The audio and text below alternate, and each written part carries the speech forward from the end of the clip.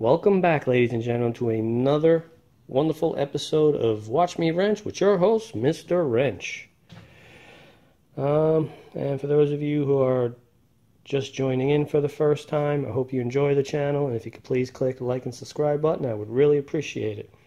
It means a lot to a, small channel like myself. Every subscribe and every like really helps out. So, what are we doing today? Um, you heard me mention in a previous video that I do not, I'm not happy with all the different shades of uh, aluminum and chrome and stainless steel. The oil catch can is one shade, this is another, that's another, that's another. The uh, throttle body's another.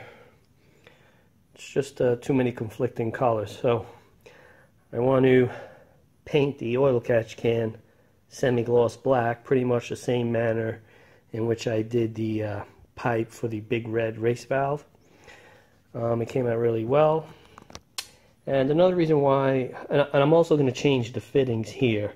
And the reason why I'm going to do that is because when I want to check the contents of the oil catch can, which is now the oil catch can has no blow by ever since I did the heads and cam, the car no longer suffers from blow by. I don't know, go figure. But anyhow, I do check it routinely. And it's a huge pain in the neck because there's not enough room for me to get my hand in here and I can't get the right leverage to undo the base to check the contents. So what I have to do is I usually just undo these two little screws and then I have to pull off these hoses which is the worst part. It's actually very difficult because these are uh, these barbed uh, type fittings. So they grab onto here and it's really difficult to pull them off. And what also happens is you wind up chewing up the inside of the hose every time you pull them on and off. So I'm going to change the fittings to make life easier and I'm going to paint this black. Hopefully I can finish today. Probably not because maybe I'll allow it 24 hours to fully dry. We'll see. All right, so let's go over to the bench. Okay, so this is what I'm going to use to paint the car uh, to paint the car. God forbid. So this is what I'm going to use to paint the oil catch can. This Rust-Oleum primer. Then I will use this Rust-Oleum acrylic enamel, semi-gloss black. And then I will use the Rust-Oleum acrylic enamel gloss clear. So that's how I'll paint it. And here are the fittings. So why did I go with this setup? Well, because the, let's just see. The 3 8 PVC line will attach here. This will be attached to the top of the oil catch can. So when I want to check the oil catch can, have to, instead of having to struggle and pull off those uh, PVC lines, I could just take a wrench and undo this, pull it out, do the same with this one, undo it, pull it off, and then take the two screws off, and I can have the oil catch can out and literally one or two minutes versus seven to ten minutes of struggling to pull the damn hose off and then scratching your knuckles against you know sharp metal edges in the car. So I spent $35 for these fittings at a local speed shop. Um, and that's it. Okay, so I'm going to take the oil catch can off. I will scuff it up with this scotch pad and I'll even use this sanding block. This is a fine. Uh, I have coarse, I have medium grit, and then this is a fine grit.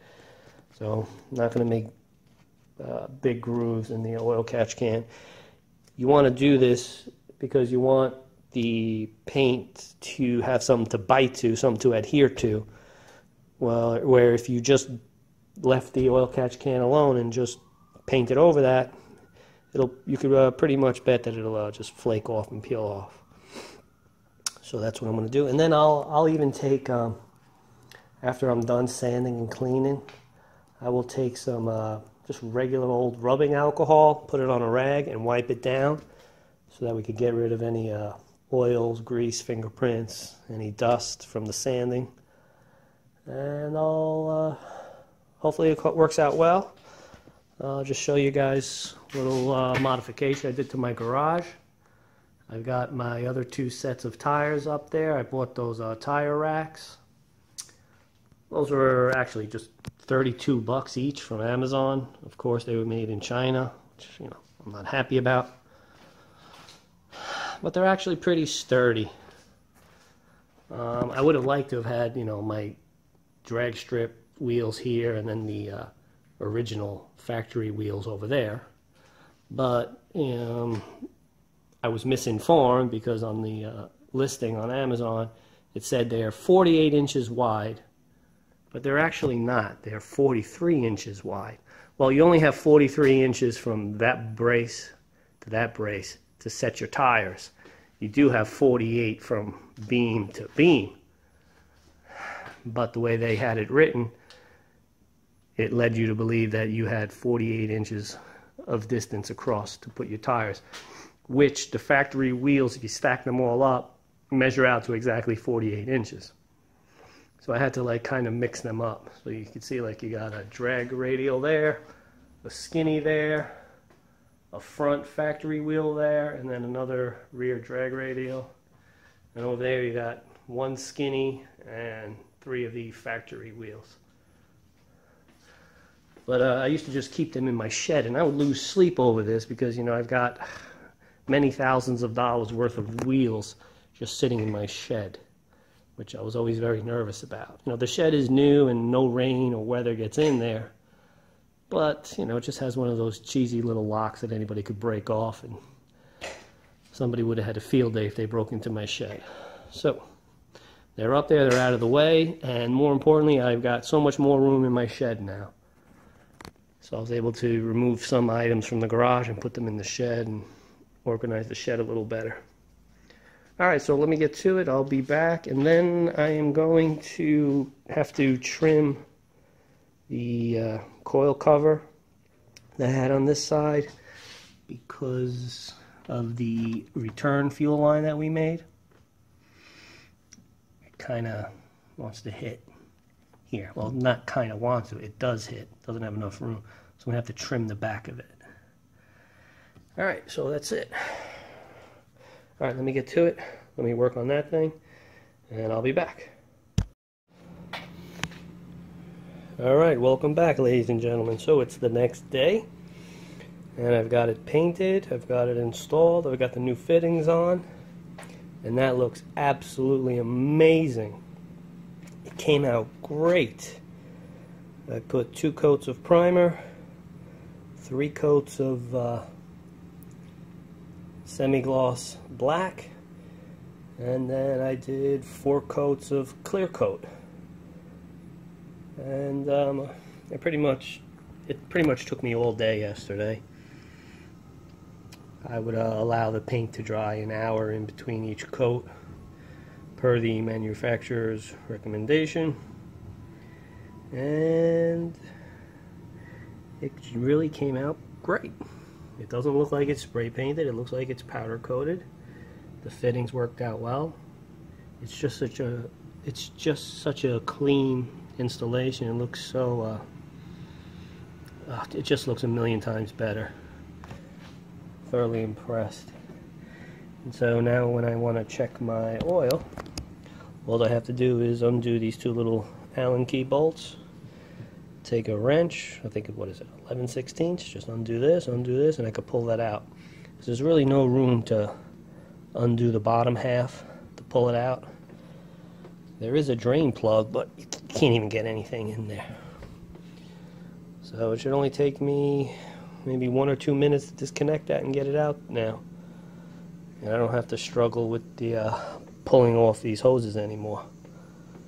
Uh, such a clean look. That looks awesome.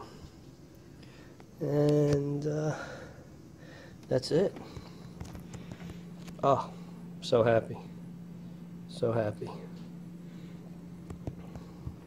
Try to get a close up. Looks powder coated. Came out really well.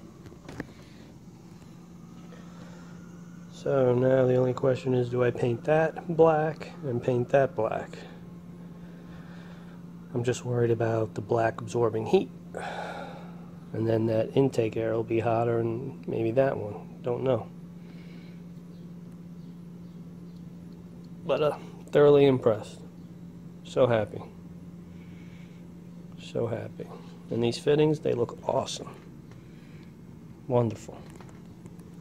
So happy. So if you're as happy as I am, please give this video a thumbs up. Actually, let me uh, modify that fuel, that uh, coil cover for that side. And there's the finished product, ladies and gentlemen. I just had to notch it. Actually, it took a while. I always try to notch as little as possible, so I had to keep coming back and forth to test fit. And it has about an eighth of an inch, quarter of an inch clearance. So that's pretty much it. Going to have to extend this hose about one inch to bring this over more. Just don't like how it sits just to reposition it. Alright. Gotta clean this motor down, gotta do a nice detail job. Alright guys, so that's it. Thank you for watching. Have a great day. If you click the like and subscribe button, I'd really appreciate it. Have a great day. Take care.